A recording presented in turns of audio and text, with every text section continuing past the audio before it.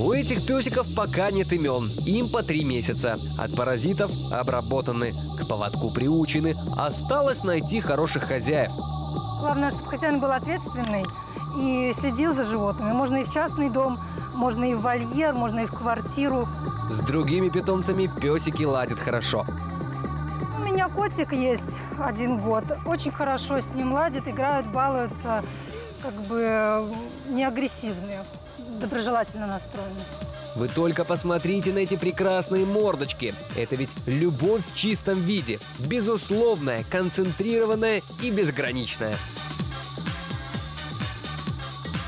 В следующий раз мы вновь познакомим вас с питомцами, которым очень нужны вы.